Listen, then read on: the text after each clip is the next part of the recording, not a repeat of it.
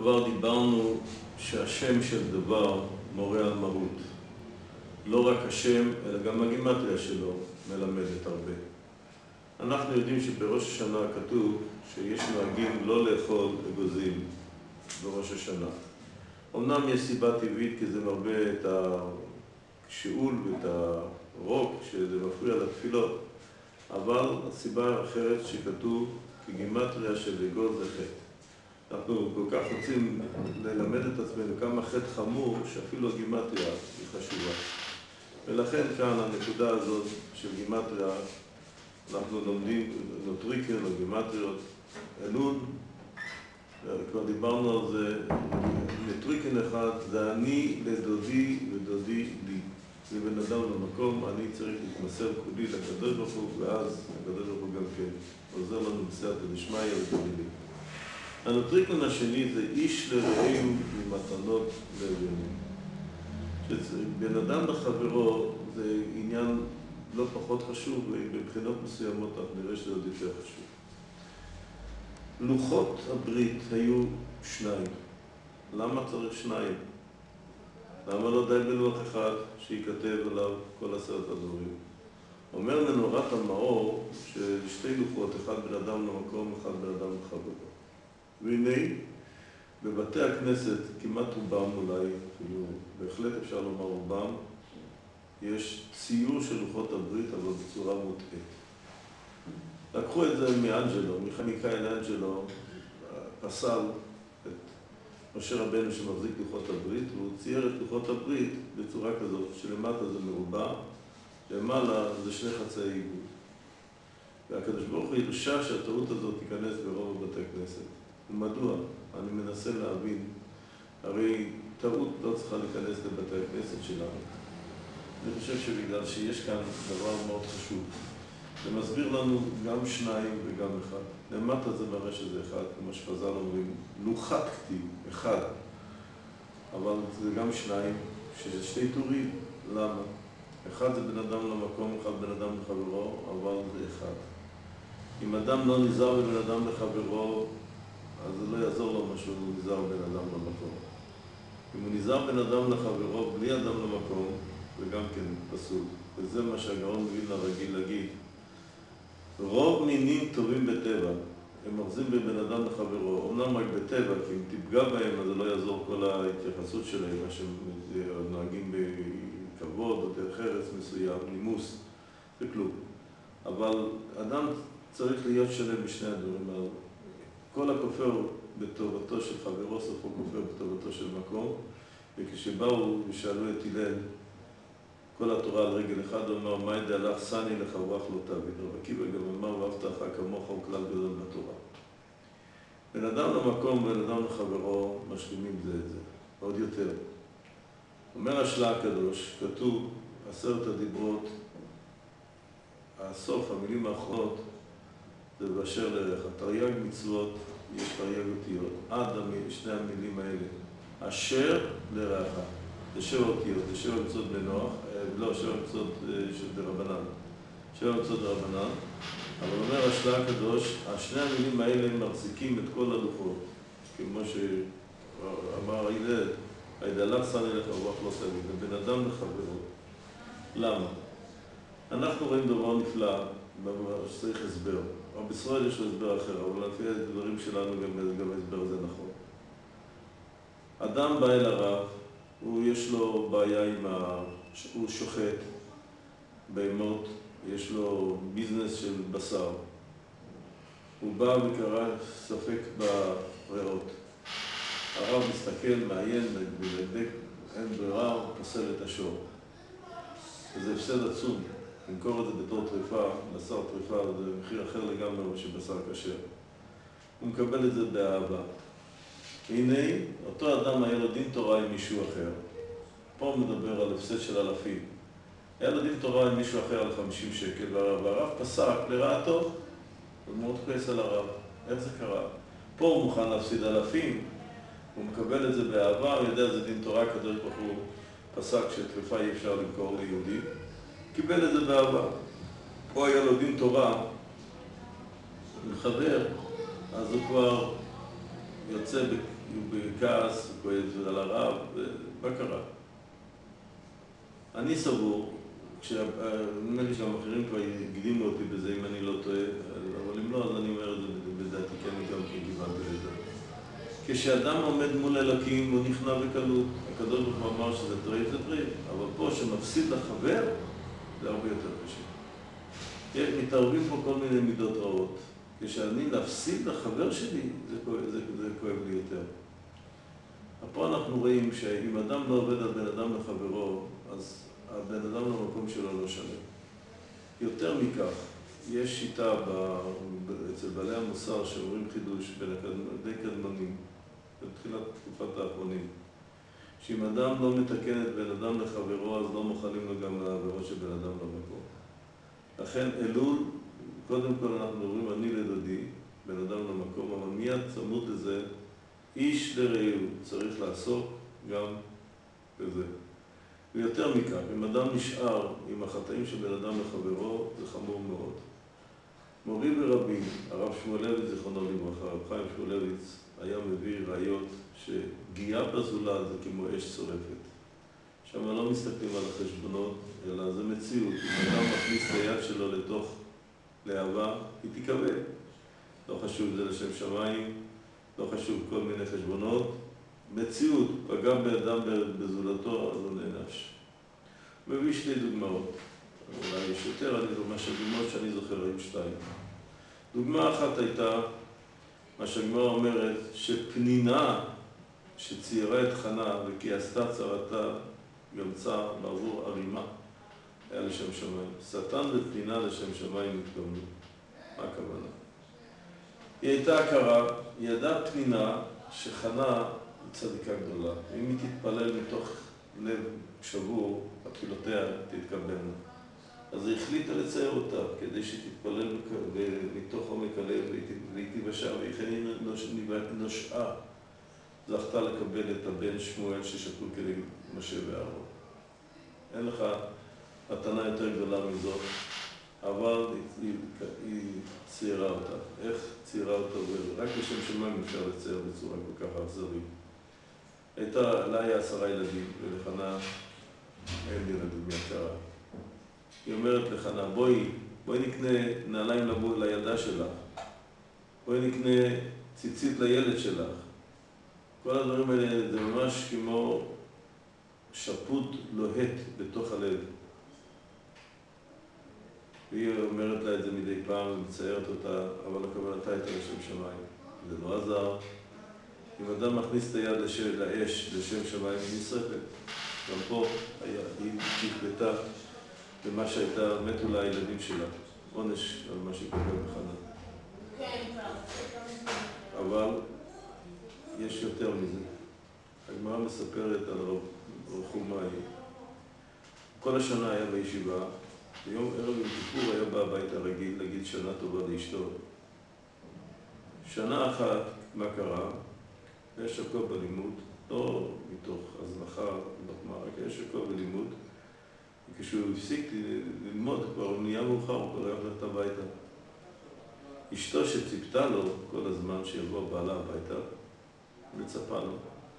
עומדת בחלון ואומרת, או, oh, בטח עכשיו יבוא, בטח עכשיו יבוא. כבר הגיע הערב, ומה שהוא לא הגיע, נזלו שתי דמעות מעיניה. מתוך צער. אומרת הגמרא, רב חומאי היה אז על הגג, הגג נשבר תחתיו ונפל ומת. שואל רב חיים, מי נענש כאן? לכאורה היא נענשת יותר, הפסידה יותר ממנו. הוא הולך לעולם הבא, אמנם הוא לא בא הביתה, אבל הוא היה אנוס, הוא פשוט היה שקוע בלימוד, לא שם לב מה שקורה מסביבו. היה אנוס.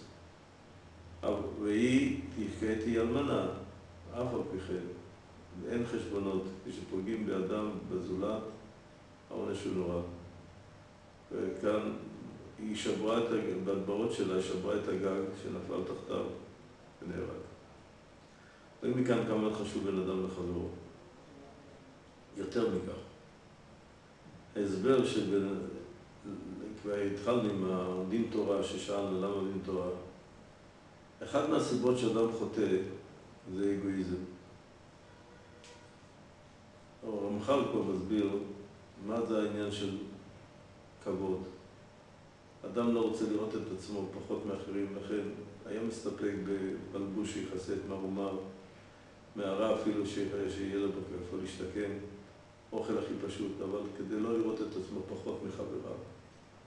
כשאדם לא דואג לאחרים, דואג לעצמו, לכן כתוב, בחסד ואמת יכופר עוון, מסביר הרב דסקארט מדוע בחסד, לעשות בחסד, זה נגד האגואיזם. כשאדם חוטא הוא דואג לעצמו, אכפת לו מעצמו.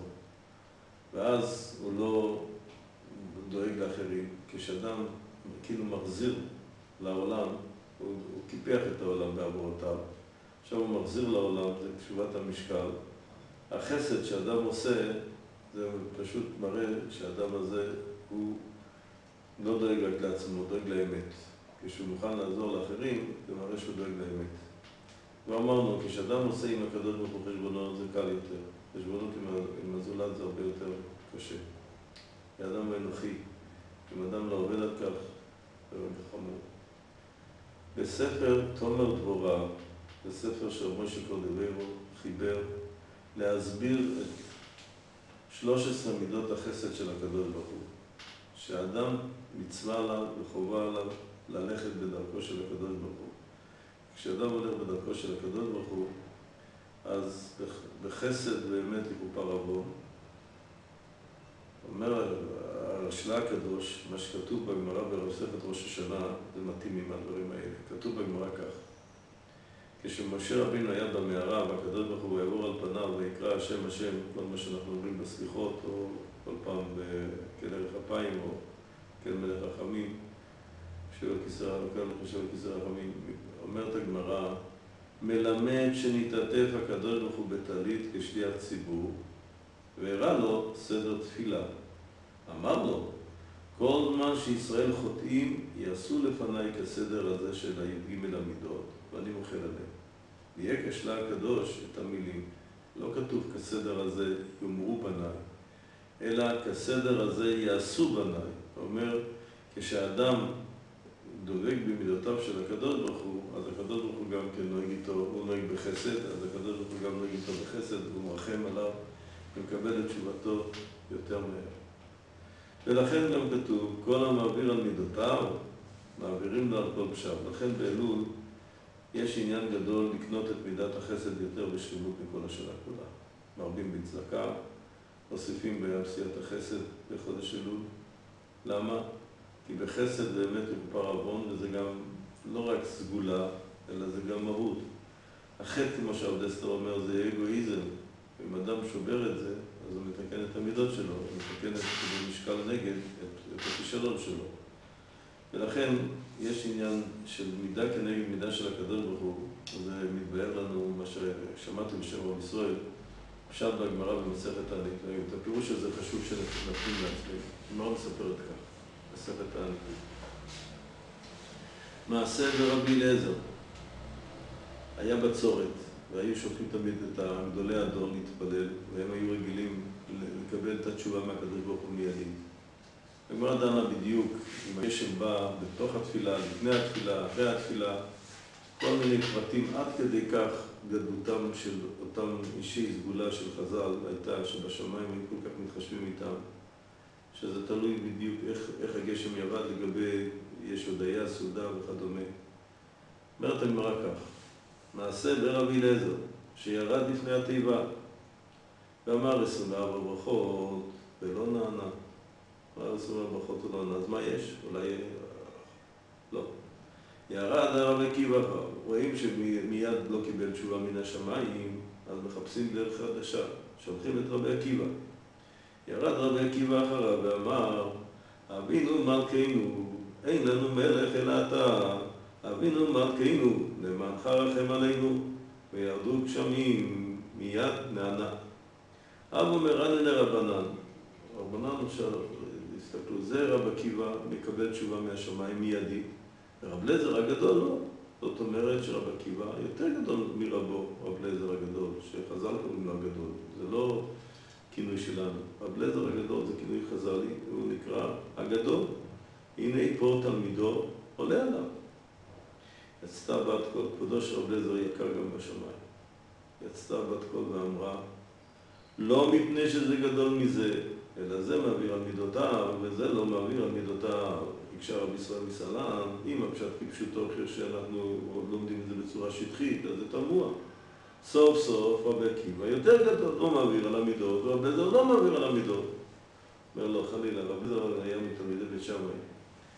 שבית שמאי היו קפדנים, הכוונה על כבוד התורה שלהם, זה היה ההנהגה שלהם. מידת הם היו משורש דין, וההנהגה שלהם הייתה דין, ולכן הקפידו גם על העניין הזה של כבוד התורה שלהם וכדומה.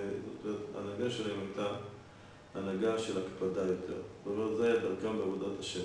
זה גם כדרך. אבל סוף סוף זה הנהגה של דין, הנהגה של הקפדה, אז גם משמיים הקפידו עליו כך. רב עקיבא היה מתלמידי הלל, בית הלל, היה שייך לאסכולה של בית הלל, של חסד, של הריטור. מעביר על מידותיו, אז גם ברוך הוא נוהג איתו כך. זאת אומרת, אם אנחנו רוצים לבוא בזכויות ליום הדין, אנחנו צריכים להיות, שני זכויות יש. זכות אחת, כמו שדיברנו על זה כבר בפעם שעברה, להיות איש שהרבים צריכים לו. אז זה זכות הרבים. אדם שיש לו זכות הרבים, יש לו יותר סיכוי לעבור את הדין. כמו מלך נכנס ראשונה לדין, בגלל שהוא דואג למדינה שלו, לעם שלו, לעולם. יש לו זכות להתקדם. גם איש שרבים צריכים לו. סבא מנוורדו פעם נכנס ונתן שיחה באלול, אמר יום הדין לפנינו וכולם בכו, הוא אמר אין לנו אלא זכות אחת, שנהיה איש שרבים צריכים לו. אבל יותר מזה, אמרנו כאן, זה איש שרבים צריכים לו, אבל יש גם את הנקודה הזאת שאנחנו פה מזכירים, אדם שכפי שהוא נוהג, גם הקדוש ברוך הוא נוהג איתו, איש החסד. בגלל שגם אנחנו צריכים עכשיו הרבה חסדים, אומות העולם כולם נגדנו. ולכן כתוב בספר מחנה ישראל של החופץ חיים, זמן שאדם נמצא במצוקה, צריך להתחזק בשני דברים. דבר אחד, להתחזק בתפילה מול ירושלים. זאת אומרת, גם כן, מול ירושלים זה התקשרות עם כל כלל ישראל ביחד, שחז"ל קוראים לבית המקדש תל תלפיות, תל של כל הפיות פונים אליו. דבר שני זה לעשות חסד. אז הקדוש ברוך הוא אומר, יש מדרש, ומה אלה שהם צריכים חסד בעצמם, הם עושים חסד. אני שנקראתי רב חסד, היסוד של החסד, כל החסד שבא לעולם בא מכוח שהקדוש ברוך הוא נוהג בחסד, על אחת כמה וכמה. אומרת, אנחנו עכשיו נמצאים בתקופה לפני 20 לספטמבר, שאומות העולם והאו"ם מתכנסים, כל העולם שמה רובו ככולו נגדנו, ואז אנחנו צריכים הרבה זכויות, אז תפילות, אנחנו, סליחות של הספרדים, אנחנו מוסיפים תהילים, אבל חסד, אומר הקדוש ברוך הוא, מה אלה שהם צריכים חסד בעצמם? לכן משתדלים, בכלם היו משתדלים ללמוד את תומר דבורה בחודש אלול, כדי לרכוש את מידת החסד והרחמים. ולכן ככה, יש שני דברים פה, מה שדיברנו, איש לרעהו ומתנות לאביונים. איש לרעהו זה לעשות חסד, לתקן בין אדם לחברו, לעסוק בחסד, מתנות לאביונים, מצוות הצדקה היא גם כן פעולה. אומר, בנתניה מסביר מדוע, אז אחרים אולי, גם הוא יותר ברור, כשאדם נותן משלו, כסף נקרא גם דמים בלשון חז"ל, דמים, לשון דם. למה? כשאדם נותן לצדקה, אז הוא מפרנס את העני, אני מתחי... נהיה חי בזה. אז כמו שאדם מחיה את האחרים, אז יש לו זכות צדקה מצילה ממוות, כי הוא חיה אחרים, אז מידה כנגד מידה מחיים אותו. פירוש אחד. פירוש שני, דמים, אדם נותן מהכסף שלו, והכסף הזה יכול היה לקנות את הצרכים שלו, את האוכל שלו. הוא מוותר על חלק מן האוכל שלו, מהדם שלו, לכן זה מידה כנגד מידה. גם הוא נותן לעניים, הוא מחיה אותם, גם מפסיד משלו. זה תיקון למה שהוא פגם על ידי החטאים שלו. לכן, בנתניה מעריך מאוד באיגרת התשובה שלו, הרבה מאוד בנושא הזה שכמה אדם צריך לתקן, לתקן עם צדקה, צדקה, וחוץ צדקה לארץ ישראל. הוא מדבר שם באריכות על הנושא הזה. זאת אומרת ככה, אנחנו צריכים לדעת, איש לרעהו, אחד מהדברים החשובים זה לעסוק בעניין של תיקון כל הכישלונות של בן אדם לחברו. קשה מאוד שבן אדם לא נכשל פעם בלשון הרע, פעם בפגיעה, משהו שלא יהיה. קשה מאוד. אז אנחנו צריכים לזכור מה שרבן יונה אומר בשערי תשובה. אני אקריא לכם קטע מרבן יונה בקשר לעניין הזה של תיקון בן אדם לחברו. העיקר ה-16 של תשובה, רבן יונה בפשר א' מונה 20 עיקרים, 20 חלקים של התשובה שכל אחד חשוב לתקן את החטאים ואת הפגמים כדי שתשובה תהיה שבועה שלמה. עיקר ה-16, תיקון המעוות באשר יוכל לתקון, עניין שנאמר אצל יונה, שם אצל אנשי נלווה, וירא אלוקים את מעשיהם כי שבו מדרכם הרעה. שבו מדרכם הרעה, ונאמר איך הם שבו? וישובו איש מדרכו הרע ומן החמאס אשר בכפיהם. החזירו את כל הגזלות שהיה. אפילו הרסו את הבתים, להחזיר חלק שיהיה תקוע, חלק גזול שיהיה תקוע בבתים, להחזיר אותו. כי בדברים שבין אדם לחברו, כמו גזל, חמאס, לא יכפר עוונו עד אשר ישיב את הגזולה. וכן, אם צייר את חברו, הציק לו, והלבין את פניו, וסיפר עליו לשון הרע, אין לו כפרה עד אשר יבקש ממנו מחילה. וראוי לבעל התשובה לעשות כן קודם הווידוי, כדי שיתרצה בווידויו.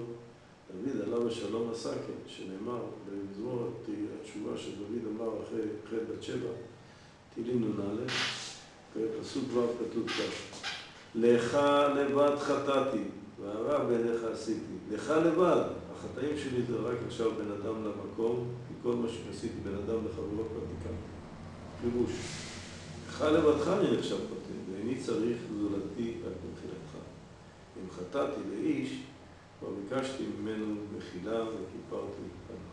דוד המלך, הוא אומר את מזמור התשובה, נכון לומר בלב שקט, לך חטאתי. זאת אומרת, הוא בא לומר לנו, אתה בא לבקש סליחה מהקדוש ברוך הוא, אתה צריך קודם לתקן את המעוות.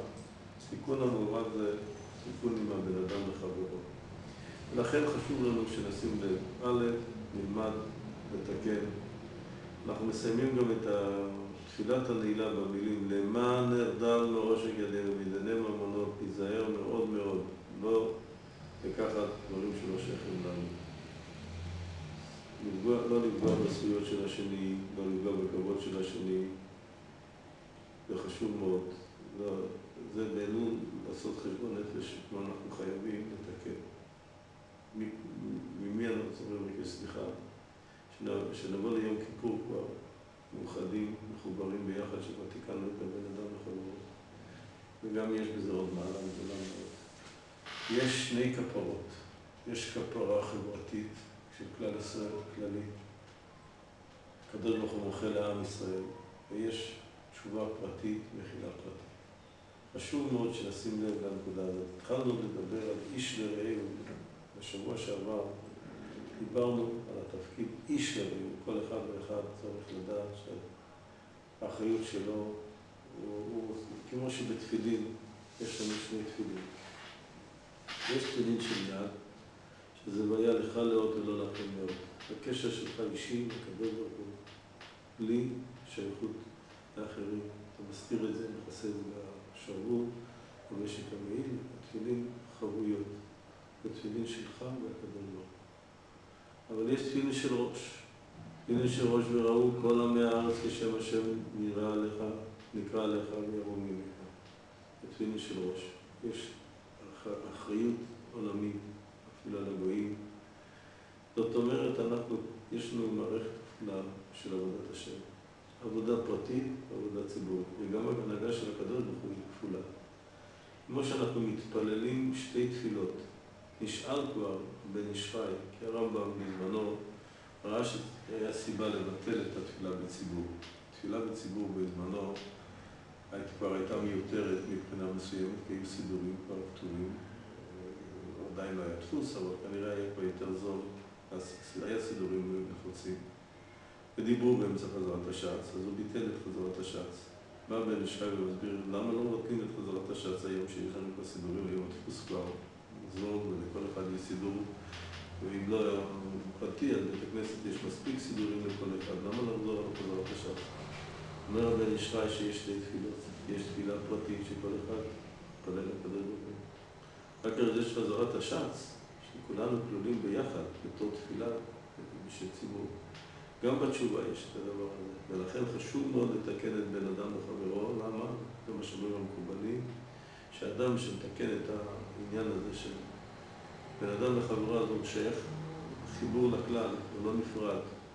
אז יש לו את החלק בתשובה הכללית, בחסד הכללי שהקדוש ברוך הוא מוחל ביום הכיפורים לעם ישראל. לא רק לאדם הפרטי, אלא לאומה כולה.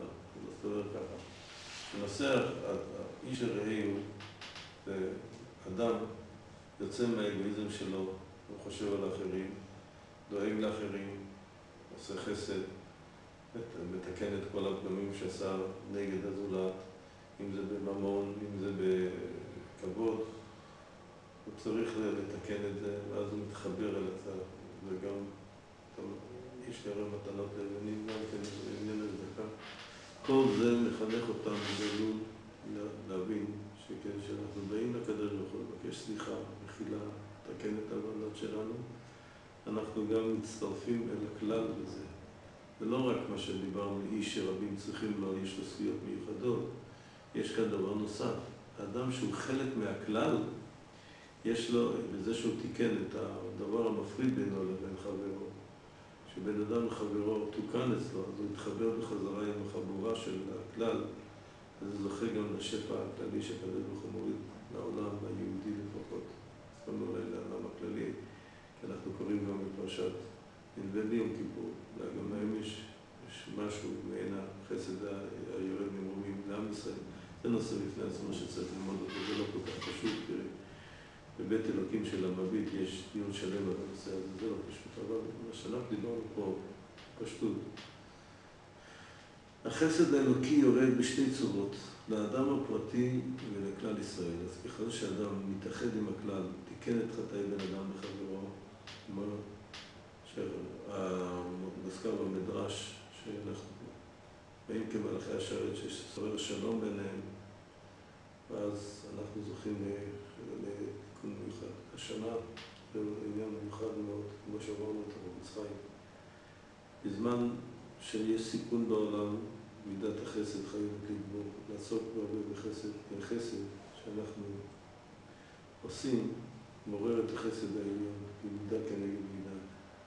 לכן חשוב מאוד השנה באופן מיוחד להתעמק בנושא הזה של איש לרעהו ומתנות לבנים, לעסוק בזה באופן יותר מכל שנה, אנחנו צריכים הרבה רחמי שמיים עכשיו, שכל העולם, אפילו ארה"ב אתמול, שר, שר הגנה לשעבר תקף את ישראל, האנטישמיות שבארצות הברית גדולה מאוד, ראיתי משהו ש... איזה שדרן אחד שדיבר בעד עם ישראל, הוא אמר שקוראים לו באמריקה משוגע, הוא מדבר בעד עם ישראל, בעד ארץ ישראל. האנטישמיות שם עצומה. אם קוראים לאדם שמדבר בעד הוא דיבר מאוד דברים הגיוניים, דברים מאוד פשוטים. הוא אמר ככה, אם יפרקו את החמאס ואת החיזבאללה מנשק, אז יהיה שלום. אם יפרקו חלילה את, את ישראל מנשק, אז לא יהיה ישראל. וזה דברים נכונים מאוד, וזה לא, ועל זה קוראים לו משוגע. רואים מכאן שהעולם, הקדוש ברוך הוא מכין את העולם נגדנו, כדי שאנחנו נחזור בתשובה, וצריך לזכור שאחד מהדברים החשובים מאוד בעיתות מצוקה זה החסד. איש לרעהו מתנות לבנים מצטרף למה שאנחנו אומרים את התפילה אני לדודי ודודי לי, כשאנחנו שלמים בשני הדברים, גם בן אדם לחברו, גם בן אדם למקום, אז אנחנו זוכים באמת לחסד המלא של התשובה.